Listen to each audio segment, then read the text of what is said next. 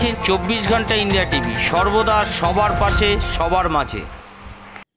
মুখোশ পরে রাতের অন্ধকারে অস্ত্র নিয়ে ঘোরাফেরা করত অচেনা কয়েকজন যুবক, ব্যাপক আতঙ্কে গ্রামবাসীরা।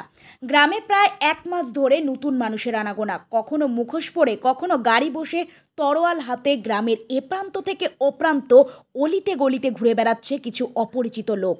এই বলেই অভিযোগ গ্রামবাসীর। এই ঘটনায় রীতিমতো আতঙ্কের বাতাবরণ সৃষ্টি হয়েছিল মালদা জেলার চাচল দুই নম্বর ব্লকের ভাকরি গ্রাম পঞ্চায়েতের ভবানীপুর গ্রামে। আজকে হঠাৎ ওই অপরিচিত লোকগুলোর মধ্যে দুইজন ব্যক্তি গ্রামের নূর আলমের নামে এক ব্যক্তির বাড়িতে প্রবেশ করে। ঠিক তখনই গ্রামবাসীরা নূর আলম আলীর বাড়ি ঘিরে বিক্ষোভ দেখাতে শুরু করে। বিক্ষোভকে ঘিরে রীতিমতো চাঞ্চল্য সৃষ্টি হয় এলাকা জুড়ে। ঘটনার খবর পেয়ে ছুটে আসে চাচল থানার পুলিশ। অপরিচিত দুজন ব্যক্তিকে পুলিশের নেতৃত্বে থানায় তুলে নিয়ে যাওয়ার সময় গ্রামবাসীরা পুলিশের গাড়ি আটকে বিক্ষোভ দেখান। পুলিশ সূত্রে জানা যায়, ওই দুজন ব্যক্তির মধ্যে একজনের নাম আব্দুস সামাদ। বাড়ি নিমগাছিতে, অপরজনের নাম মনোরল হোসেন। বাড়ি নগাছিয়াতে। ঘটনার তদন্ত শুরু করেছে চাতল থানার পুলিশ।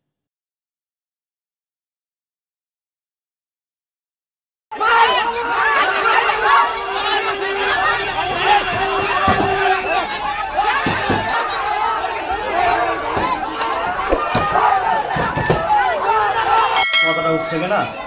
আমরা যখন আমার সাড়ে নটার সময় ছাদের উপর আওয়াজ হয়, আমার বাড়ির পিছনে একজনকে ফোন করলাম, একটা ভাস থাকে। তো ভাসটা দেখো আমার ছাদের উপরে আওয়াজ হচ্ছে। মনে হলো যে কেউ আছে ছাদের উপরে।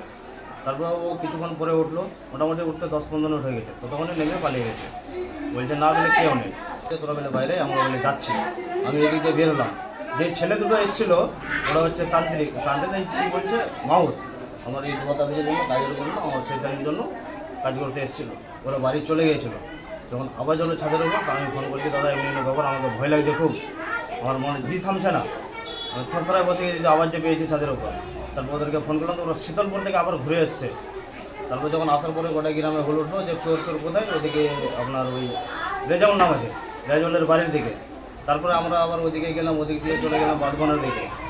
বাঁধবন থেকে এসে ওখানে একজন কি ছিল সাদ্দাম নামে, ওই ইয়ের বেটা, কী নাম বেটা।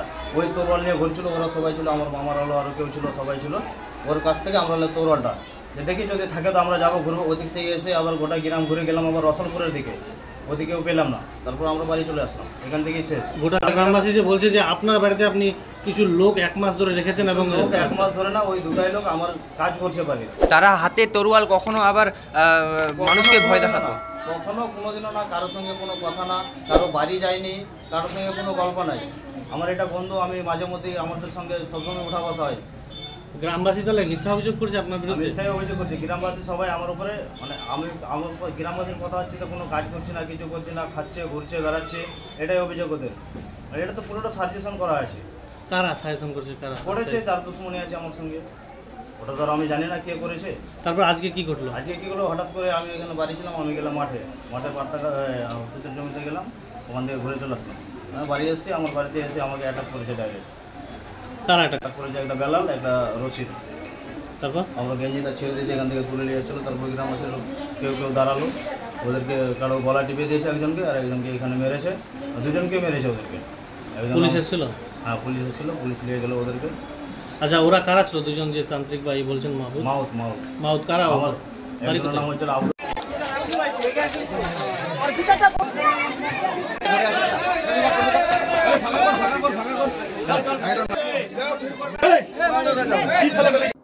আজ এ পর্যন্ত সঙ্গে রাখুন চব্বিশ ঘণ্টা ইন্ডিয়া টিভি। দেখতে থাকুন সব জেলার সব খবর। সবার আগে চব্বিশ ঘণ্টা ইন্ডিয়া টিভির পর্দায়। নমস্কার।